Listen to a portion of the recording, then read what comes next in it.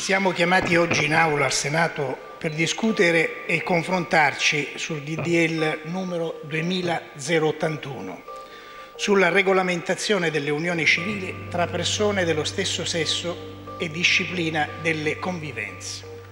Le mie sembreranno parole dure e potranno suscitare scalpore tra taluni di voi. Non posso però esentarmi da tale compito perché in questo momento avverto più che mai l'obbligo di assumermi questa responsabilità, da umile credente quale sono. Vorrei leggere in quest'Aula alcune citazioni delle Sacre Scritture. Non voglio perdermi in congiunture, analisi, non voglio filosofeggiare, non voglio dare spiegazioni, vo- ma voglio solo ricordare la parola di Dio sull'incompatibilità della famiglia generata da un uomo e una donna con l'omosessualità. La donna non si vestirà da uomo e l'uomo non si vestirà da donna, poiché il Signore tuo Dio detesta chiunque fa tale cose. E ancora, non ti coricherai con un uomo come si fa con una donna. È cosa abominevole. Non rendetevi impuri con nessuna di tale pratiche, poiché con tutte queste cose si sono rese impure le nazioni, che io sto per scacciare davanti a voi. Maschio e femmina li creò. Li creò per essere una sola carne, per procreare. Così si estende la creazione divina che ha nell'uomo la sua corona.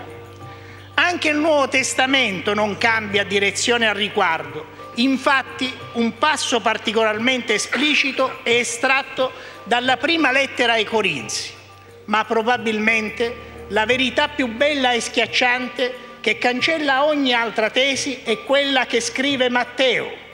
Un credente non deve mai dimenticare che Dio non cambia.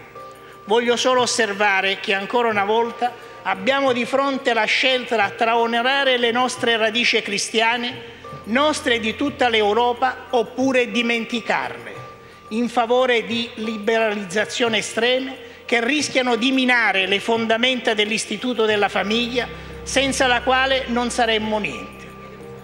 La famiglia, comunione d'amore e di vita fondata sul patto d'amore del matrimonio, rappresenta una risorsa sociale alla quale non si possono equiparare le unioni di fatto.